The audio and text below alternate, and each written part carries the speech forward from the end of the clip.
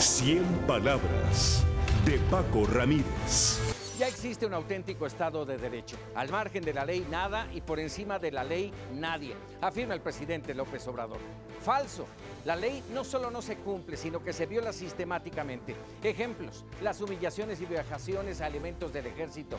Ya no se persigue el narco, bloqueos carreteros y de vías del tren por maestros o campesinos, actos vandálicos durante marchas y manifestaciones, mototaxis en Cuchetán, Oaxaca, pagados para violentar derechos y tomar instalaciones de un medio de comunicación como Megacable.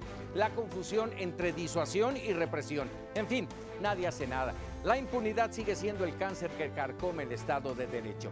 Donde queda el castigo por inseguridad, violencia, feminicidios, intereses de grupo e incluso sobre pretexto de restablecer derechos violados o vengar una injusticia. Falso. No podemos hablar de justicia ni de Estado de Derecho.